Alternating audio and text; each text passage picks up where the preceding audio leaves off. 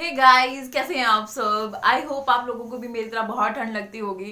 And मुझे लग नहीं रहा कि इस बार सर्दियाँ खत्म होने वाली हैं।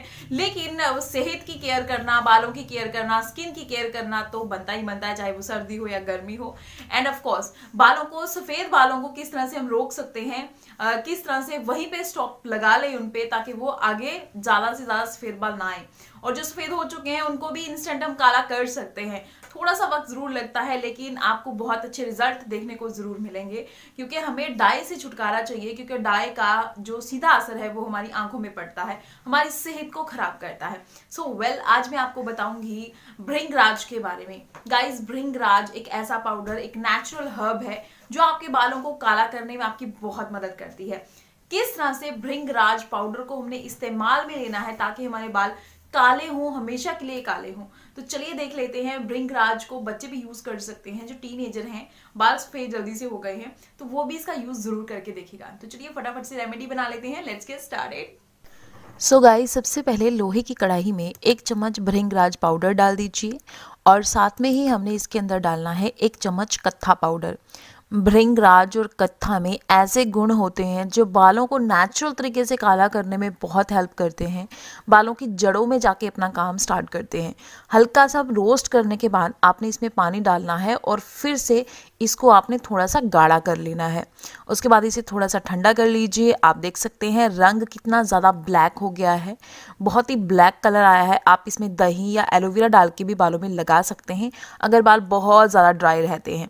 इसे आपने अपने बालों में कम से कम पौना घंटा रखना है मतलब 45 मिनट्स 40 मिनट्स रखना है अपने बालों में।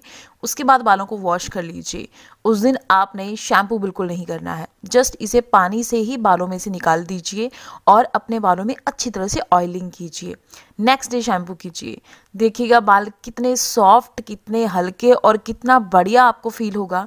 दिमाग कहते हैं ना तस्वीर एकदम से ठंडी हो गई है दिमाग की तो वो भी बिल्कुल एकदम से ठंडा सा फील होगा। रिलैक्स हो जाएगा माइंड बहुत ज़्यादा और आपको बहुत पॉजिटिविटी जो है वो फील होगी।